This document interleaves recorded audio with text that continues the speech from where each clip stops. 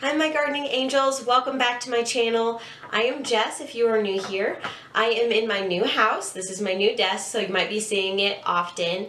Um, I just wanted to, to, let you guys know that we are moved back in and finally here and I'm so excited because it's only been two weeks before I've been able to mess with my plants and kind of evaluate some of the damage. So in this video I wanted to show you kind of what a frozen succulent looks like and why you should not let your succulents freeze. Um, I saw recently that Arizona just got a bunch of snow and my heart just broke a little just thinking about all those succulents that probably froze out there. Um, but I have a succulent here that has some pretty good examples of what a frozen succulent looks like. Um, and then I also learned a lot and would do a lot of things differently when moving my succulents um, in the middle of winter because I think it was negative 14 on the day that we moved. So I wanted to kind of show you guys, or I guess tell you guys what I would have done differently. Okay, so with moving, we kind of made a few mistakes. So I put them in some cardboard boxes, which actually held up pretty good. Um, and then we tried keeping them in our compartment of our car that stays a little bit warmer, and I think those ones did okay. Um, the ones we had problems with were the ones that we had to put in the trailer to move. Uh, we got a huge cooler and we put the succulents in there. And I think what I would have changed a little bit is that I would have put in some of those heat packs that you can buy online or, you know, whatever that they send succulents with in the winter. I think I would have put some of those in there and I think that would have made a huge difference. Um, I also would take any succulents that you have in clay pots out and put them in plastic ones because with this one I think the clay pot got really cold and then it hurt the edge of the succulent a lot with the leaves that were touching that one. Um, also, do not water your succulents before you move them because if it is cold outside, the water will get a lot colder quicker.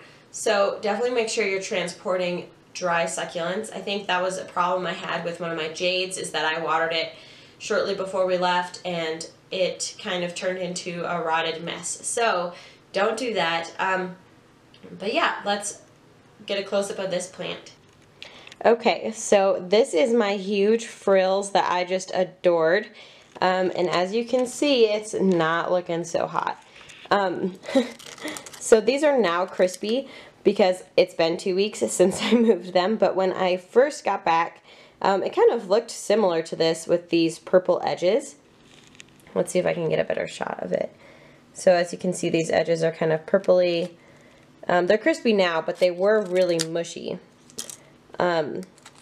I'm going to be removing these leaves because they're just, well, one, I, unsightly, but also probably not helping the plant too much.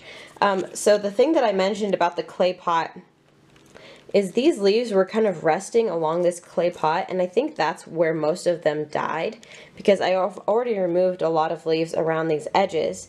Sorry about my voice by the way, I have been sick for these past few days so my voice is a little rough today. but, um, but like as you can see, there's new growth on the inside. So I think that's fine. And I've been keeping an eye on these leaves here to see if the black is spreading in, um, you know, to like kind of monitor the rot a little bit. Um, but I think for the most part, it's just been around these edges. And then I think these ones should be healthy now. And then I'm expecting this one to just grow back. The root system looks good, the stem looks good. It's mainly just these outside leaves that kind of look frozen.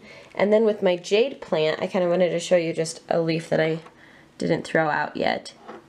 Um, but there's black edges around all of this and it rotted on the inside and got weirdly squishy. It got shiny. Um, the end result from that. It didn't turn out so good. So I'm going to be throwing this leaf away too.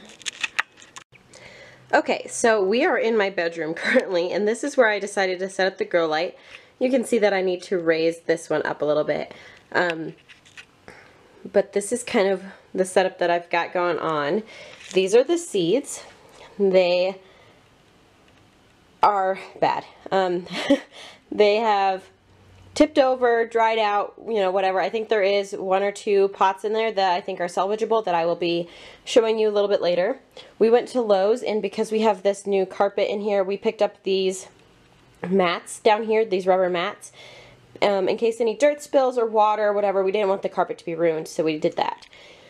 Um, I am going to be taking all of my succulents and repotting them because they're kind of a mess. So I dropped one of the boxes and so you can see this one's not really potted, it's sunken in. Um, there's ones randomly everywhere. This is just a cup of succulents that fell. So, you know, they're not doing great. So I want to kind of redo all of these. I have some bags of dirt down here um, and I kind of want to clean this up and see how many of my grow lights I'm actually using because then I can shut one off if needed, save a little bit on electricity. Um, but, for Valentine's Day, I am getting a few more succulents. My husband and I are going to go to the nursery and pick out a few more houseplants. So I wanted to kind of clean this up and see what I'm missing, see what I would like, you know, kind of get a visual of what's going on. Down here I have my frills that I'm going to clean up first, and then I've removed a bunch of leaves from my jade plant. So I'm going to propagate those.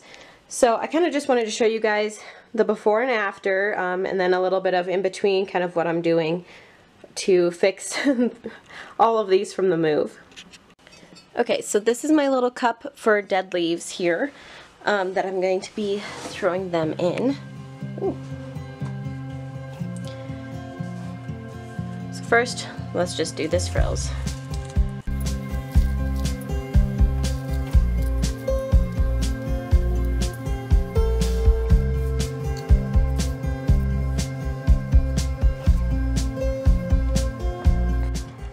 Here's a little progress update. I have my Lolas all planted up.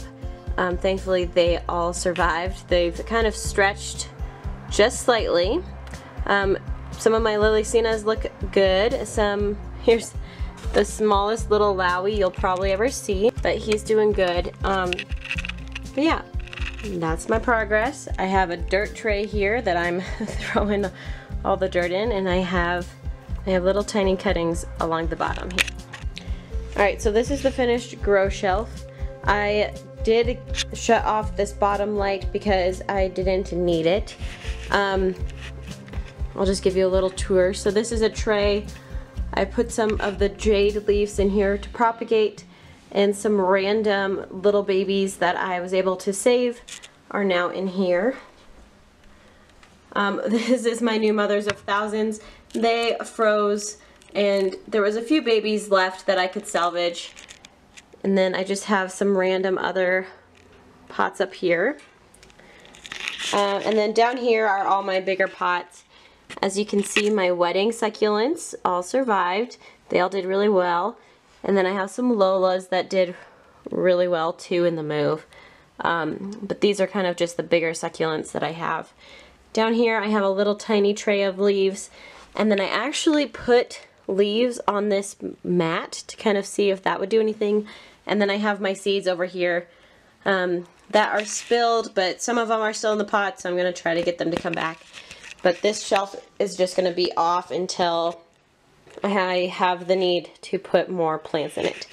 And then of course up here I'm going to be using it as storage. So I need to vacuum. It's very dirty now around here, but I finally am done. It only took me like three hours to finish. So I hope you guys liked this video. If you did, please give it a big thumbs up and then subscribe to our channel if you haven't already.